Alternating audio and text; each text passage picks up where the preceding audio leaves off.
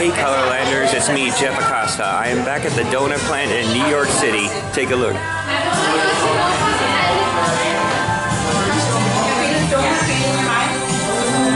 And this time, once again, peanut butter and blackberry jam, peanut butter and banana cream, and marzipan, and I got a few more to go.